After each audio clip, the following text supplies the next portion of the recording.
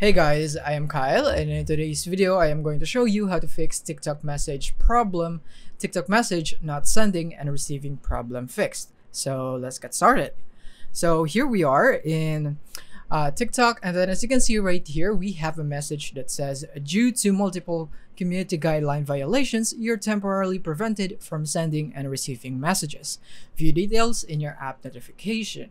So as you can see the keyword here is temporarily. So from here the best easiest way that you can do to solve this is to just wait and uh, just wait until the punishment that is given to you was is gone but if you don't want to wait and you want it to be gone as soon as possible, then this is what you can do. So from here, you want to go into your profile right here.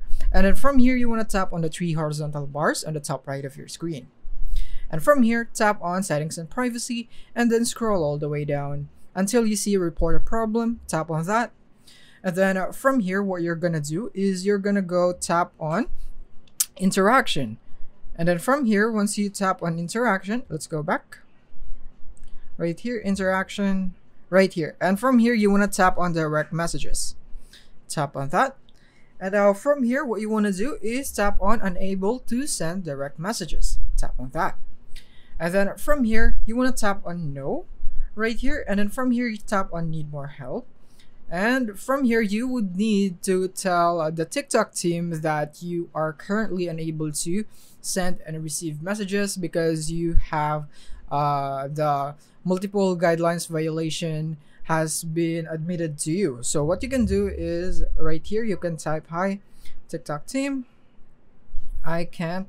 So this is how I would suggest that you talk or tell them about your problem. So it says, Hi TikTok team, I can send and receive messages due to the community guidelines violation.